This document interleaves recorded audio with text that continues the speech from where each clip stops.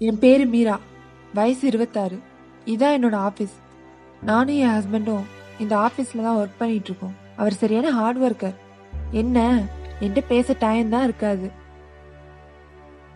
எல்லாம் நல்லா தான் போயிட்டு இருந்துச்சு ஆனாலும் திடீர்னு ஒரு திருப்பம் வந்துருச்சு. இவன் மூலமா. இவன் தான் என் ஹெட்டு ஆனா இவன் என்கிட்ட எப்படி நடந்துக்கிட்டான்னு சொல்ல வச்சேன்? சார். கொடு. இதெல்லாம் இருக்கட்டும். நான் உன்னை சின்சியராக லவ் பண்ணுறேன் மீரா. ப்ளீஸ் புரிஞ்சுக்கோ. பிலவி மீரா ப்ளீஸ் சார் என்ன இப்படி பேசுறீங்க? ஐ மேரிட் தெரியும்ல? என் ஹஸ்பண்ட் இந்த ஆஃபீஸில் தான் ஒர்க் பண்ணிட்டு இருக்காங்க. தெரியும் மீரா. நான் வேணா உங்கள் அப்பா அம்மாட்ட பேசுகிறேன் உன் ஹஸ்பண்டை விட நான் நல்லா பார்த்துப்பேன் மீரா. நான் இந்த ஃபைல் கொடுக்க தான் வந்தேன். எங்கே பார்க்கலாம். நமக்கு எதுக்கு வந்து வேலையை பார்ப்போம்? அவன் ஹஸ்பண்ட்லாம் ரொம்ப பாவம். இதெல்லாம் பார்த்தா தூக்கு போட்டு செத்து போயிடும் என்னது இது? இப்படிலாம் வேலை பார்த்தா நான் ஆஃபீஸ் இழுத்து மூடிட வேண்டியதான் போ போய் ஒழுங்கா ஒர்க் பண்ணு போ.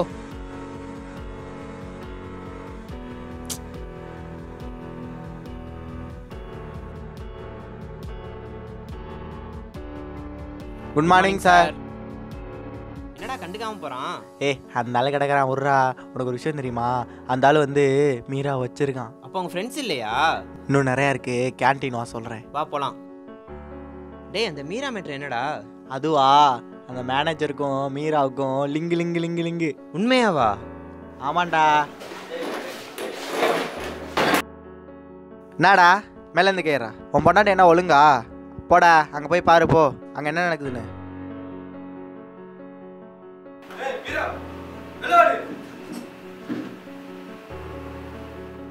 என்னாச்சு? உன்னை எல்லாம் வீட்டுக்குள்ளே அடைச்சு வச்சிருக்கணும். வேலை இப்போ அலோவ் பண்ண பாத்தியா? என்னைய சொல்லணுண்டு எங்க அவன்? எங்க அவன்? எங்க அந்த நாய் எங்க அவனை? வர சொல்லு வெளில. பார்த்தா பார்க்கட்டும். இப்பவே பேசுறிய எதா இருந்தாலும். எங்கடி அவன்? நான் தனியா சொல்லணும்னு நினைச்சேன். ஆனா இப்ப சொல்றேன். ஐம் பிரெக்னன்ட் இப்போ நம்ம இந்த மாதிரி சண்டை போடுறது நம்ம குழந்தைக்கு நல்லது இல்ல அது என் குழந்தை தானே எனக்கு தெரியவே இல்லையா. என்னடா சொன்ன? என்ன சொன்ன?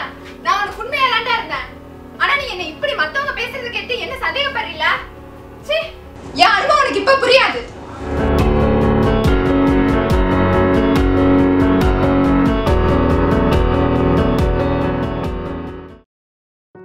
இப்போ நான் என்ன சாதிக்க போறேன்? உயிர் வாழ்ந்து? என்ன தப்பா பேசினதுனால நான் ஏன் என் பிள்ளைய கொல்லணும்? அப்படி நான் அவர் கூட போனா என்ன தப்பு? ரூமரை நம்புற இந்த சமுதாயத்துல. என் பிள்ளை ரூமருக்கே பிறந்தவனா இருக்கட்டும்.